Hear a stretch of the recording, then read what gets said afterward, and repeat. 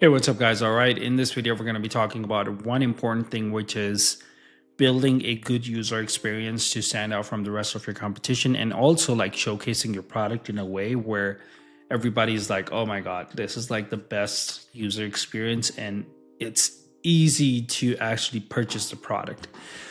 You want to build a good user experience that is just like super easy and also building crowd, brand credibility with a bunch of reviews and user feedback is extremely important. A lot of brands that when they come actually work with me personally, the problem with that is like most of the time their user experience on their site sucks.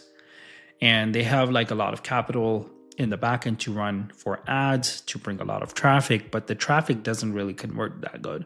They might have like a 1%, 2% conversion rate, and then they cannot really go past through uh, through that because they're like, I don't know. Well, we don't know what we're doing wrong, right? So I'm going to show you an example of Ocean, Organics Ocean. This is one of the uh, website that I personally admire and I love their product pages. Now, the thing is that right off the bat, when you actually come on the actual homepage, you can see a really nice picture of like the products that these guys are offering. Do you see the credibility by seeing the logos? What makes them better? Services, the products that these guys are offering, FAQs, and of course, like the footer. There's nothing special going on here, but it's just like the cleanliness of the website, you know, help you read through the website super, super easy.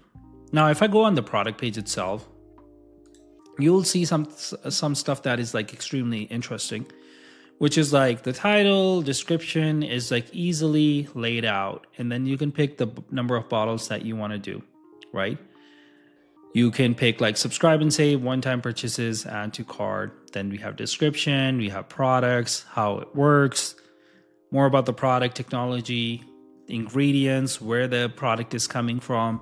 Like these are very, very small things, but helps you like stand out more from the rest of your competition and helps you your consumer understand like, okay, this is what the product does. Now it your your doesn't your um brand doesn't have to be supplement specifically. Uh, your product can be like anything.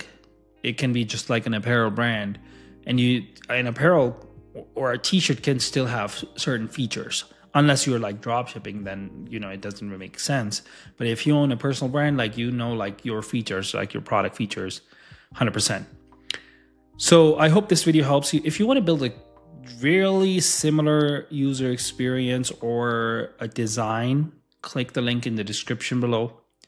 Schedule a call with me. Let's talk about your specific design. I could design it for free with no charge.